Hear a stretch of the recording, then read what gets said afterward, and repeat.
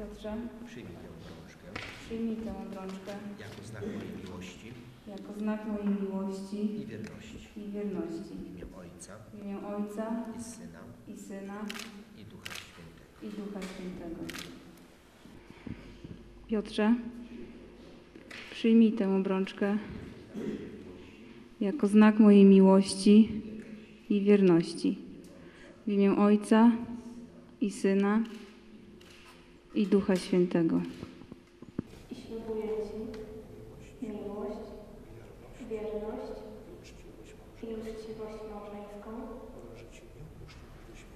oraz, że Cię nie opuszczasz do śmierci.